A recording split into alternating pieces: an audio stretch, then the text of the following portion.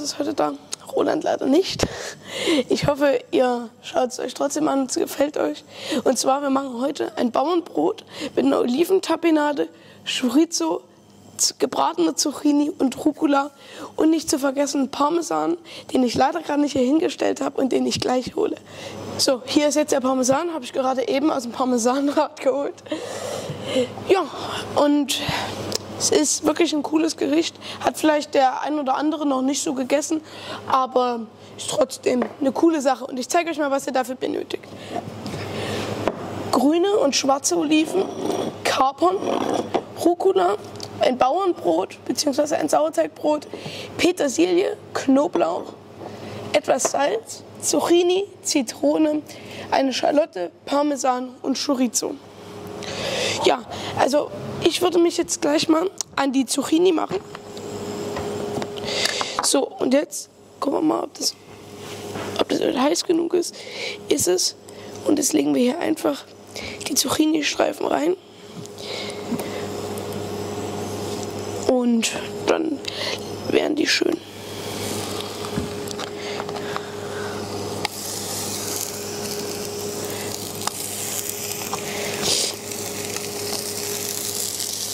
So, da muss jetzt auch nicht allzu viel. Wir wollen ja nur zwei Brote machen. Jetzt schneiden wir uns hier erstmal eine schöne Scheibe von dem Brot runter. So. Wir haben leider hier keine Brotmesser, deswegen müssen wir ein normales Küchenmesser nehmen. Boah. So. Jetzt legt man das, jetzt legt man das hier hin. Jetzt kümmern wir uns um die Oliventapenade.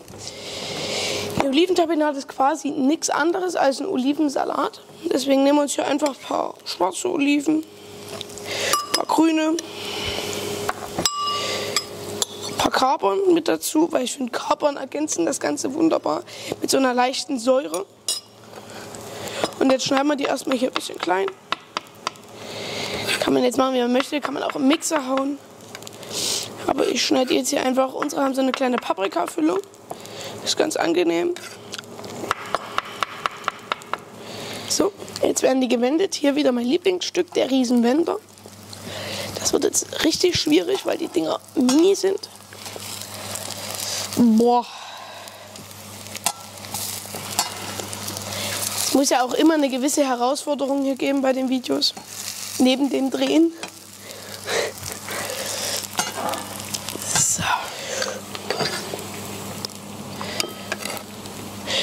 Also, ihr könnt es natürlich so fein machen, wie ihr möchtet. Kommt natürlich darauf an, wie viel Biss ihr haben wollt. Und ja. Jetzt nehme ich mir hier ein bisschen Petersilie, roll die wie zu so einem, wie zu so einer Rolle und schneide einfach so das hier runter. Dann kann man das hier hinzufügen. Dann etwas Knoblauch. Das hier ist junge Knoblauch. Das ist eine ganze Zehe als Knolle. Finde ich immer ganz cool. Da muss man sich nicht die Arbeit machen, um die einzelnen Zehen auszulösen.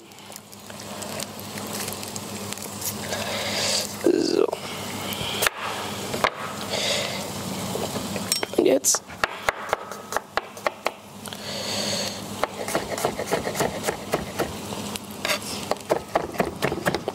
Ich nehme jetzt hier ein kleines bisschen Schalotte, dass man da auch noch ein bisschen das süßliche Aroma von der Schalotte mit reinbekommt.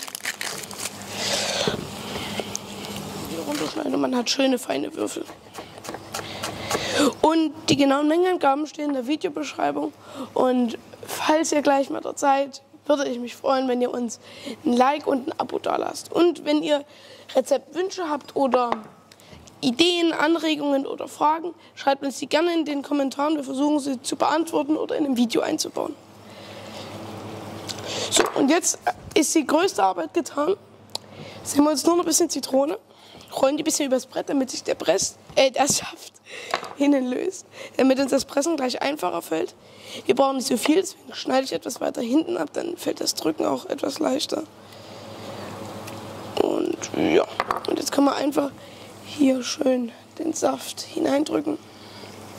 Wir wollen es nicht besonders sauer haben, deswegen belassen wir es nur bei einem kleinen bisschen. Und die Oliven sind schon sehr salzig oder verhältnismäßig salzig, deswegen geben wir noch eine kleine Prise Salz ran. Und das Ganze ähm, zu ergänzen. Und jetzt rühren wir das hier einfach mal durch. Es ist quasi wie ein Olivensalat. Und jetzt binden wir das Ganze hier noch mit ein bisschen Olivenöl.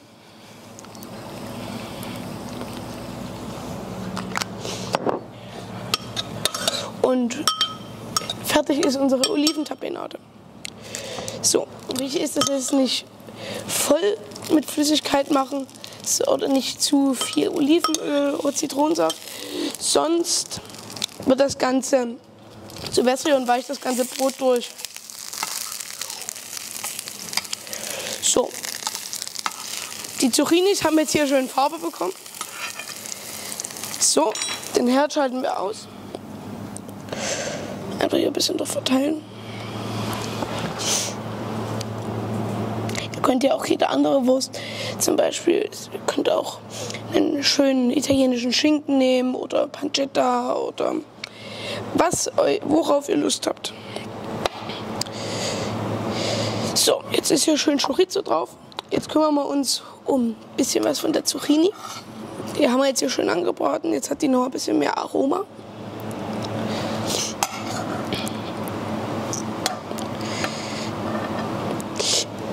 Die heiß? Huh.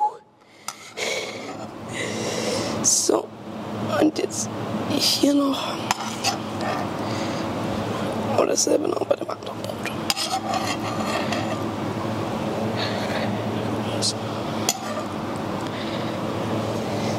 So. Jetzt, weil die Zucchini noch gar keinen Geschmack hat, salzen wir die ein bisschen.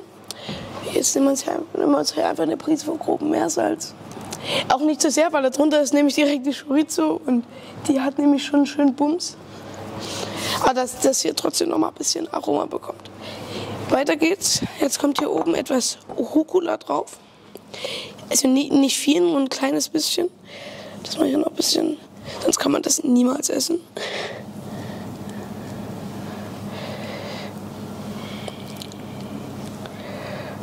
So, oh, herrlich. Und jetzt als krönenden Abschluss etwas Parmesan, frisch aus dem Parmesanrad. Einfach ein bisschen runterschneiden. Und dann einfach hier oben etwas draufpressen.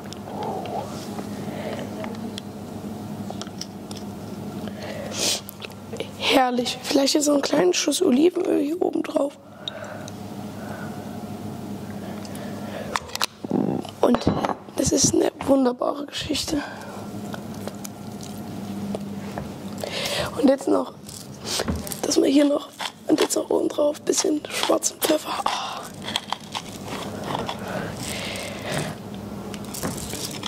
Wunderbar. Und vielleicht, dass das jetzt Ganze noch ein bisschen runder schmeckt, oben drauf noch ein bisschen Zitrone. Und fertig ist unser belegtes Bauernbrot mit Oliventapenade, Chorizo, Zucchini, Rucola und Parmesan.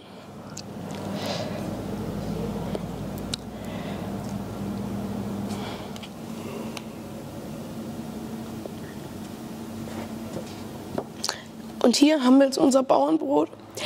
Ich kann es da nicht essen. Besser wäre mit Messer und Gabel. Habe ich jetzt hier nicht.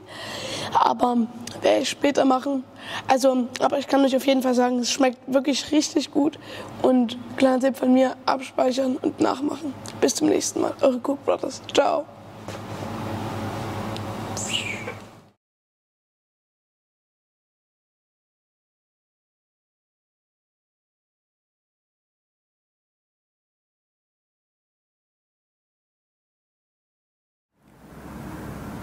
Vielen Dank fürs Zuschauen und wir wünschen euch viel Spaß beim Nachmachen.